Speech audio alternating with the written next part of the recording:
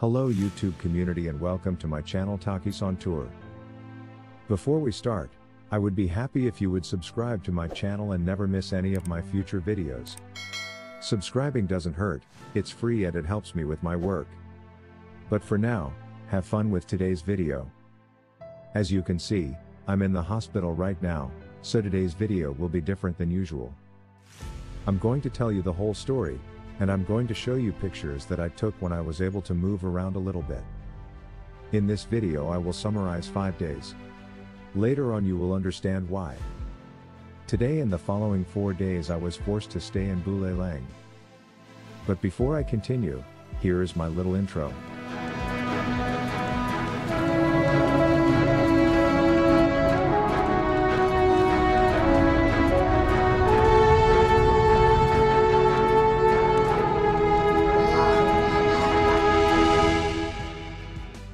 Checked into this hotel in the afternoon, it had already started to rain, but that was not what I was expecting. It must have rained for two hours, luckily I had already checked in and brought my clothes to the room. I planned to stay here for two days and then go to the ferry and take the ferry to the next island. In the evening, when it finally stopped raining, I went out to get something to eat. I walked down the street and couldn't find anything I liked. After a while I crossed the street and then it happened. As I was about to cross the street and was already standing on the median, a wild horde of cars and mopeds came from both sides, as is common in Indonesia. One of them hit me from the side with full force and threw me into the air so that I fell onto the asphalt. I don't remember anything after that. When I came to, my memory was back, I was sitting in a roadside restaurant somewhere. The young woman who was selling there gave me something to drink, and a young man who had apparently picked me up off the street later took me to my hotel. I hurt all over and could not sleep. All night long I was more or less on the toilet throwing up. Every five minutes I was on the toilet emptying my stomach. When I was lying in bed, I saw the ceiling spinning like a merry-go-round. It was very hard for me to get up and go to the bathroom to empty my stomach again. At first I thought maybe it would subside overnight and everything would be back to normal the next morning, but nothing of the sort. In the morning I did some quick research to see where there was a hospital around here, luckily it was only a few feet from the hotel. I walked there as best I could and was examined immediately. Fortunately, it turned out that nothing was broken. The doctor who examined me told me that I had a moderate concussion and that it was normal for what I had experienced the night before. I spent the rest of the day in my room because I couldn't walk because of my hip.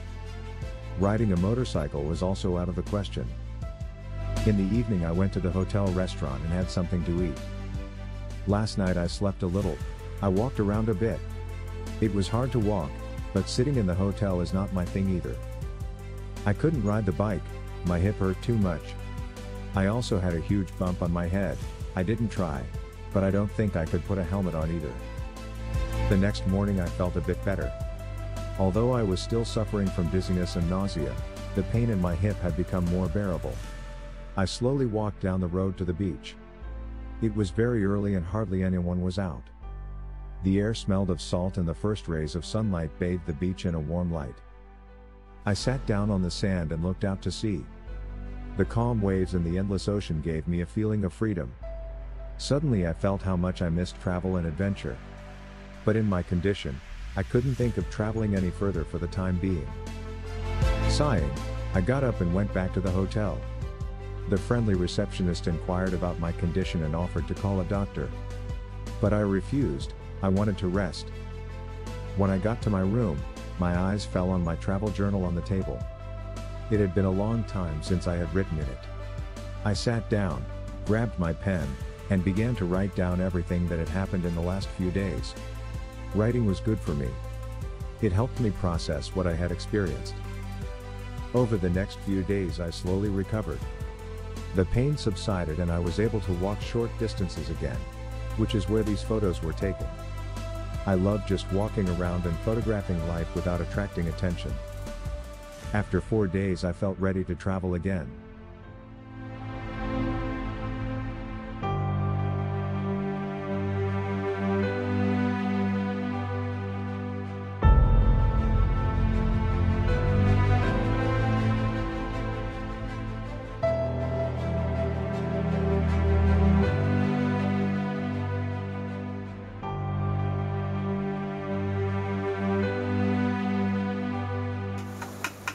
Thanks for watching. I hope you enjoyed the video. If so, I would appreciate a subscription and a thumbs up. Otherwise, feel free to give me feedback in the comments on what I can do better next time.